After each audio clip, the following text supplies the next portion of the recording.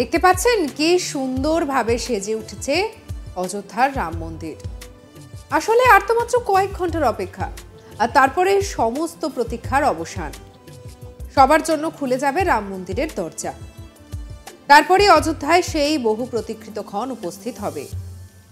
দিনক্ষণ তিথি, নক্ষত্র সবকিছু দেখে যে মুহূর্ত ঠিক করা হয়েছে, সেই নিয়ম মেনে প্রাণ প্রতিষ্ঠা হবে রামলাল্লার তার আগে কি শুধু রাম মন্দির? শুধু রাম মন্দিরই কি সেজে উঠছে তার আগে? তা কিন্তু নয়।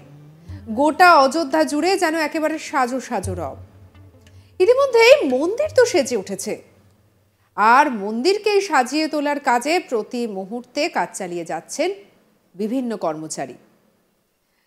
বিভিন্ন জায়গা থেকে ফুল এসেছে। সেই সুন্দর ফুল দিয়ে মন্দির জুড়ে সেই ফুল দিয়ে সাজিয়ে তোলা হচ্ছে।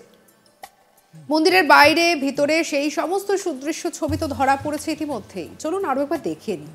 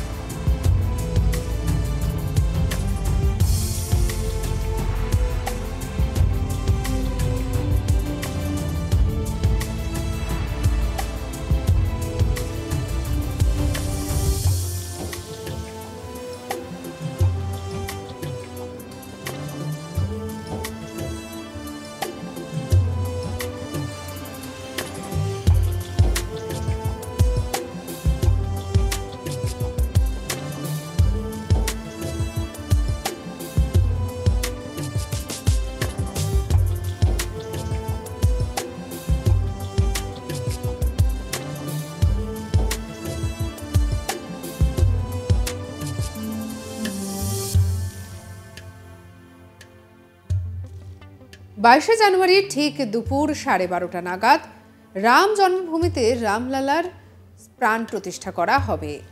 সমারোহ উৎসবের মধ্যে দিয়ে একেবারে সেখানে কারা কারা উপস্থিত থাকবেন সেটা তো আমরা জানি। প্রধানমন্ত্রী নরেন্দ্র মোদী তো স্বয়ং থাকবেন।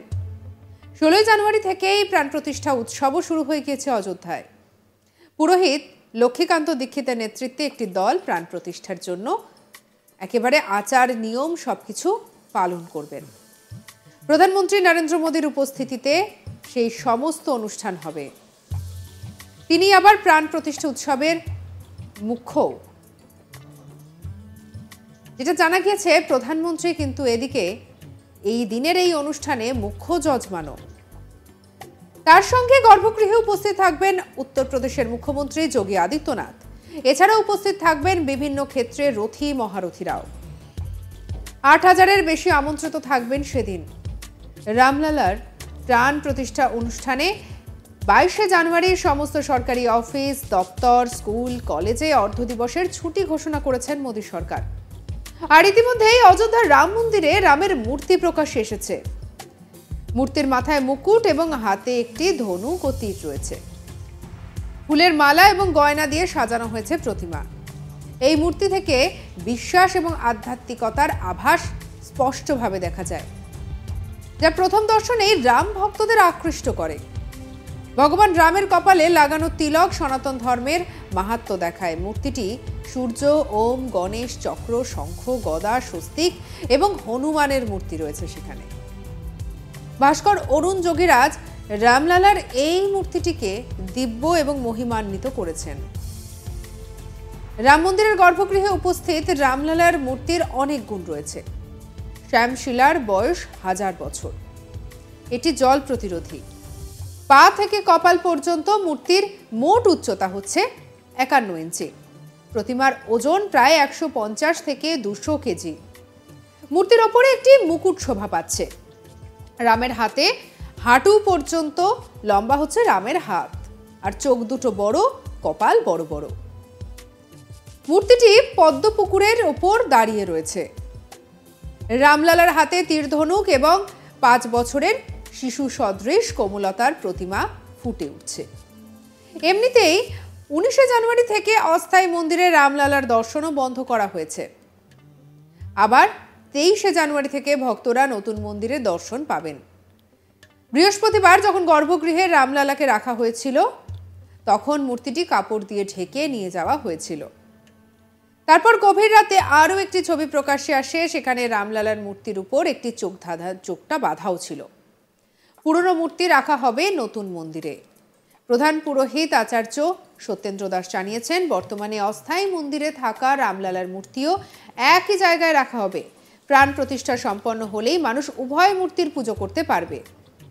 সত্যেন্দ্র দাস জানান, দুটি মূর্তি গর্ভগৃহে থাকবে। সিংহাসন সহ পুরনো মূর্তি গর্ভগৃহে গেলে নতুন মূর্তির পাশে রাখা হবে। সিংহাসন না থাকলে ছোট মূর্তি সামনে রাখা হবে।